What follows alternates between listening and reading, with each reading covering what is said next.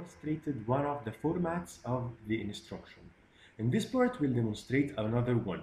It's the I format or the immediate and data transfer uh, functions. So it contains here four fields, but the total amount is the same. Okay, the, the total uh, amount of bits is at the end the same. So uh, it has here opcode, the operation code, uh, the source and the target, plus the constant or address. So uh, an instruction like load word, what's load word? Load words takes the base address uh, or in memory in uh, stored in uh, S3, adds to it 32 and gets T0. So with your MIPS prior knowledge, you know what's the load word instruction. So how do we represent load word in uh, its numeric or binary format? So, what's the opcode of load word? So taking here the green card, searching for the load word, we'll find that it has 23 opcode.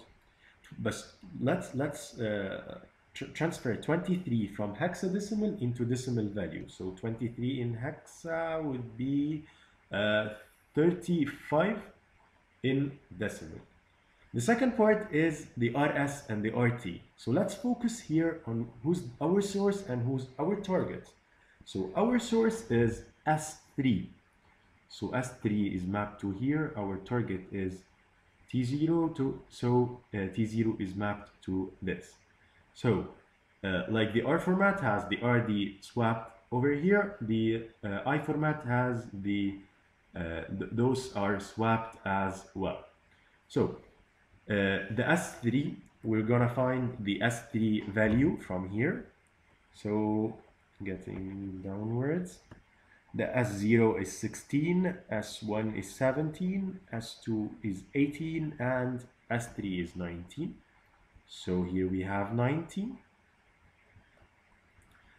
Uh, T0, I assume uh, uh, you, you are now aware of T0 is 8. Yes, T0 is 8. And what's this field? This field is the constant or address. The constant or address here is the 32. So it's the offset that we add plus the base address in S3 to get the stored the stored item and load it into T0. So here by here we finished the I format. We have remaining the third one which is which is the J format. So if you notice that it, you, you, can notice that it has also 32 bits. Uh, so but, but different representation.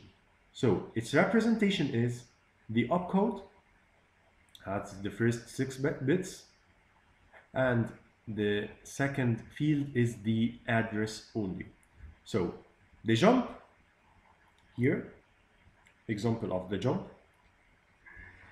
it's only the instruction or afterwards the address. So getting to the MIPS here, green card. The jump opcode is 2 hexa. So if we want to represent that would be 2 and the address of loop in memory. So we here put here the address that we want to jump to. So by now I assume you have the knowledge of the R format, the I format, and the J format.